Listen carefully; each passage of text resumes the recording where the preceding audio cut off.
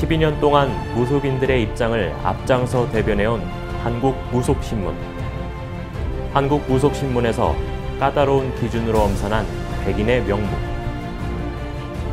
그들은 과연 누굴까?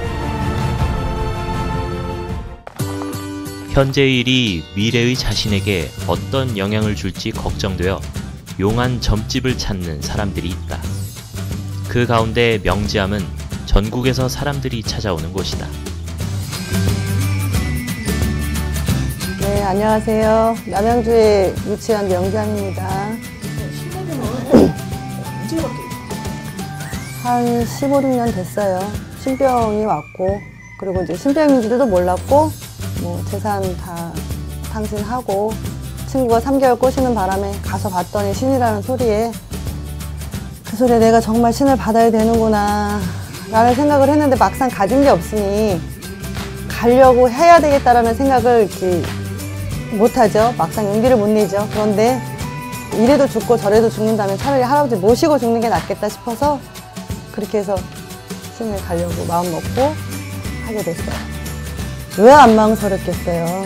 이제 아이들이 있으니까 자식을 키우는데 이제 무당 자식이라는 소리를 들으면 어쩌나 나야 무당 소리를 들어도 뭐 어차피 내가 받은 제자니까 모신 제자니까 어쩔 수 없다고 생각은 하는데 나로 인해서 아이들이 이제 피해를 볼까봐 그런데 의외로 우리 아이들이 너무나도 엄마를 자랑스럽게 생각해주고 있어요. 그래서 지금 너무나도 신령님한테 감사드리고 있죠.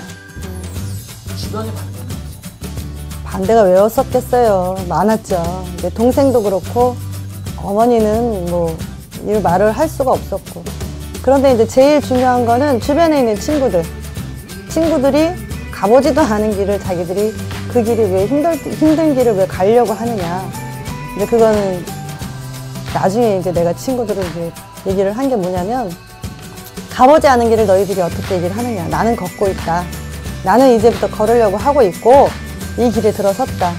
가보는 내가 더 얘기를 하는 것이 정확하지 않느냐. 그런 소리를 할것 같으면 친구 연도 끊자. 하고 내가 끊어낸 격이 됐어요. 주변의 반대에도 굳은 심지로 신의 길을 걸어온 명지암. 이제는 그 누구도 그녀의 선택에 뭐라 하지 못할 만큼 영검한 무당이 되었다. 기도가 이제 코앞에 닥쳐서 결실을 딸 때가 됐는데 기다리지 못하고 갈 때, 그리고 결실을 손에 쥐었는데도 불구하고 뭐 내 기도가 헛됐구나, 내가 너무 했구나, 너무 신도들을 너무 믿었구나라는 생각이 들 때, 그때가 가장 허무했어요. 근데 그럴 수밖에 없는 게 사람이니까 기다리는 걸 언제까지 기다려야 되느냐. 기약이 없잖아, 우리, 우리네 일이. 그거는 어쩔 수 없구나. 대신에 그 사람들이 이제 가고 난 다음에도 내 나머지 기도 언제까지 해야 되겠다라고 하는 그 기도는 다 맞춰주고 있으니까 그분들이 돌아서서 간 그 다음에도 재수 보고 성불 봤으면은 나는 그걸로 만족해요. 기도하고 수행은 어떻게 기도는 이제 대산 명산이라고 그래서 큰 산들을 많이 타는데 저는 거의 다 정상을 찍고 내려와요. 뭐 백두산도 갔다 오고 이제 그 우르무치라고 해갖고 신강 우리 중국 땅에서도 가장 끝에 있는 이제 천산이라고 하는 곳도 갔다 오고 산천기도로 하죠. 진짜 쌀 하나 물 하나 들고 올라가서 올라가면서부터 모든 걸 다 거기서부터 다 털어놓고 내 숨 한숨 한숨 하나하나 내 발걸음 하나하나에 그냥 신의 염원 담아가면서 그렇게 기도하고 제자분들도 네. 많으실 것 같아요. 제자는 아직까지 이제 아홉 명 있어요. 어, 제자분들에게 음. 특별히 당부하시거나 내가 좀 내 새끼라고 해서 조금 엄하게 하는 건 있어요. 왜냐, 엄하게 해도 그렇게까지 엄하진 않거든. 굉장히 유한 편이거든요. 많이 주는 쪽이란 말이야. 그러면 제발 같이 좀 따라서 공부할 때는 한쪽에 좀 신경을 좀 썼으면 좋겠어. 공부를 하, 하자 하자 하고 내가 안 매달렸으면 좋겠어.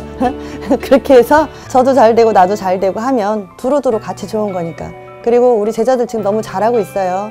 잘하고 있고 공부도 열심히 잘하고 있고 다들 몸 건강 잘들 챙기고 그리고 시국이 어려우니까 어, 헛공수 안 나오게 기도들 열심히 하시고 어, 옳은 길 바른 길 갈 수 있는 그런 제자 될 수 있게 해달라고 그렇게 같이 마음속으로 같이 빌어보자고요.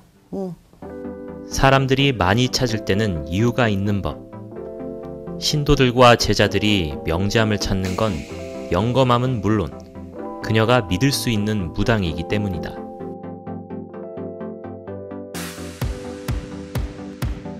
당연하죠. 왜냐 그 총각 귀신이 그 아가씨가 좋아서 붙었는데 다른 남자하고 만나는 꼴이 눈에 보이겠어요? 눈에 가시지. 총각 귀신들이 붙으면 일단은 결혼하기가 너무 힘들어져. 그리고 사회생활도 힘들어요. 다른 사람들하고 말하는 것도 질투를 하기 때문에. 그래서 그거는 천도제를 하든 하면서 그분을 좀 닦아서 띄어내는 방법을 써야 돼요. 손을 탄 적 없는 응. 그렇다면 그런 것도 없이 가격만 맞는 사람 음. 그런 사람들과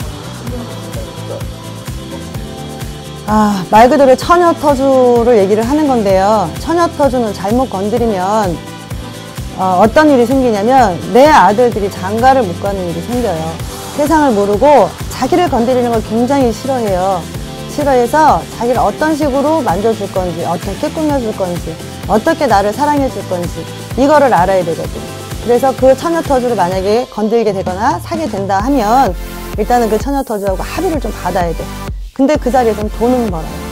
응. 근데 그분이 굉장히 까탈스러워요. 계속 누군가 손을 댔던 땅인데 그 땅에서 덧이 나는 경우가 있어요. 업이 있었거나 했을 때 처음 이제 땅을 만졌을 때 큰 돌을 파낸다거나 아니면 이제 그 땅에 있는 업 신령을 건드려서 그분이 앉아 계시는 자리에다가 무언가를 다른 걸 갖다 놨거나 이러면은 다 뒤집어져요. 다 뒤집어지게 돼 있어요. 그리고 잘못하면 사람도 다치고 죽기도 해요. 그거는 맞는 소리예요. 왜냐, 내가 큰 복주머니를 가지고 있는데 그 주머니에 구멍이 나 있는 셈이고 창고의 문이 열려 있는 셈이에요. 콧구멍이 보이는 얼굴들은 일단은 재물이 잘 안 모여. 그리고 왜비 오면 비가 들어가게 생겼다고 하죠. 안 좋은 일들이 계속 수시로 들락달락 들락달락 거려요. 근데 또 이런 분들이 예를 들어서 콧구멍은 보이는데 얼굴에 곰보 자국이 있어요. 이런 분들은 돈을 모아요. 왜? 따로 담을 주머니가 얼굴에 있기 때문에. 그런데 이제 대부분 한 80%는 다 재물이 샌다고 보시면 돼요. 재물을 보이는 관상이다. 그렇죠. 뭐 귀가 잘생기면 주머니가 있어서 그 주머니 안으로 뭐 돈이 다 들어가겠다 이러잖아요. 근데 이제 가장 중요한 건 눈이에요. 부처님 눈처럼 이렇게 갸름하게 이렇게 떨어지는 눈들이 쌍꺼풀이 있어도 그리고 웃을 때 반달 모양을 이렇게 눈이 이렇게 감기는 눈들 눈웃음을 친다고들 하는데 그런 눈들은 성공의 가능성이 있기 때문에 재물의 운도 따라요. 그리고 코 주머니는 우리나라 그 개그맨 중에서 이윤석이 서경석이 나오죠. 그분 코들이 화살코잖아. 그쵸? 그분들은 재물이 샜다가도 다시 주머니로 들어가요. 중심만 봤을 때는 그렇고 뭐 또 이제 그 이외에 또 다른 것도 있지만 대략 그렇게까지는 말씀을 드릴게요. 무조건 망하는 게 아니고요. 그분이 망하는 이유가 있어요. 재물복이 없는 사람들은 대부분이 귀가 얇아요. 그런데 약이 되는 소리는 안 들어요. 자기 생각에 달구나 자기 생각에 맞는구나 하는 거 단소리 하는 사람 그런 사람들 말만 들어 그러니 사업을 해도 돈을 벌 수 있는 게 아니라 앞에서는 돈을 버는 모습인데 뒤로 가면 전부 빚이 쌓이게 돼 있어요 명지암에는 학생들부터 저명 인사까지 폭넓은 계층의 사람들이 찾아온다. 그녀의 신점을 통해 생활의 어려움을 파악하고 한결 가볍게 삶을 살아갈 수 있기 때문이다.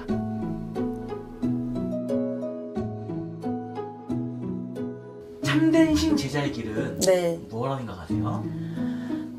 그게 가장 어렵죠 어떤 어떤 방향에서 어떤 각도에서 그 무당을 바라봐 주느냐에 따라 있는 건데 일단은 자기가 처해진 입장 자체가 제자의 길이면 제자로서 할 수 있는 거는 다 하셔야 돼요. 뭐 신령님 옥수는 뭐 내가 갈고 싶을 때 갈아야지. 뭐 초, 아유 꺼놓고 있다가 뭐 내가 키, 키고 싶을 때 키고 뭐 필요할 때 키고 이런 제자들이 있어. 근데 그거는 내가 곧 밥을 안 먹어야 되는 상황인 거야. 신령님도 마찬가지. 매일 진지를 잡수셔야 공양을 하셔야 옥수 공양을 하셔야 나도 밥을 먹는 거거든요. 그래서 제자는 가장 기본부터 잘 지키고 가는 제자가 가장 참된 제자라고 봅니다. 끝으로 다른 신 제자분들에게 한마디 해주신다면 제가 옳은 소리를 했던 틀린 소리를 했던 쓴 소리를 했던 어, 이쁘게 봐주시고 그리고 우리나라의 전국에 계신 모든 무당 우리 제자님들 그냥 옳은 길 바른 길 갈 수 있는 그런 제자 다 같이 되어서 요즘에 무당이 문화재돼요. 그러니까 우리 얼마든지 할 수 있어요. 좋은 희망 가지고 참된 길 걸어가는 그런 제자 그렇게 우리 모두 되자고요. 네. 어려움이 있다면 명지암과 같이 인망이 두터운 무당을 찾고 자신에게 필요한 도움이 무엇인지 함께 고민해 보는 건 어떨까?